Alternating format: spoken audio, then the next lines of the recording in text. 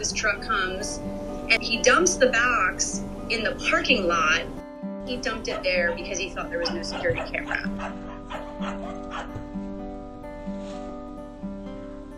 He was in such horrible condition, but he was still fighting and he was still hanging on. And I said, just let me know however I can help.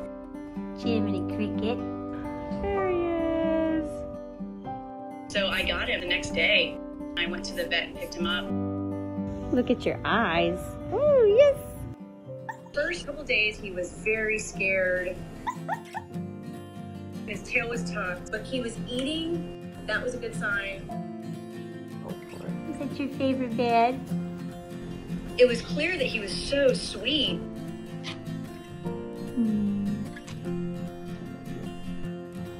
He basically slept, woke up, ate, went to the bathroom, slept again. you already look so much better. Oh, yeah. After the first week, he was letting us snuggle him.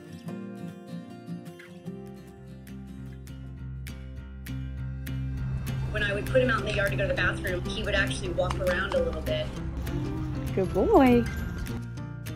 By week three, personality wise, wow, this little dog is so happy. And you could tell that he felt safe. He was eating better. He was finally starting to act just like a regular pup. That's right, Jiminy. You hold your own. His fur is completely back. It is so soft.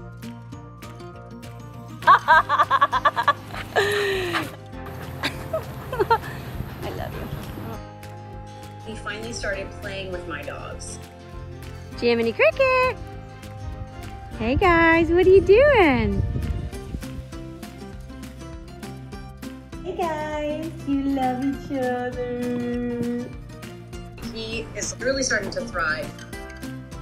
I'm just so proud of him. Selfishly, I want to adopt him to somebody that I know so I can still be Aunt Shannon. I love you. Look how big he is. Okay, roll over. Oh, yes, roll over. Good job.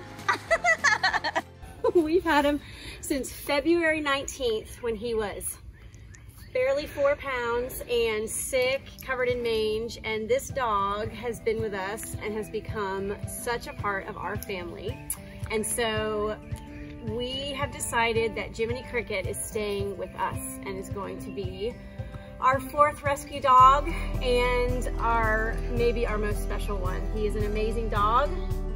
We love him so much and I'm officially the crazy dog lady.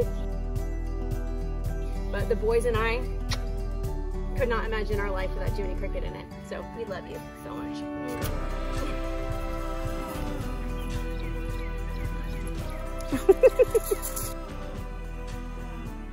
Like, comment, and subscribe.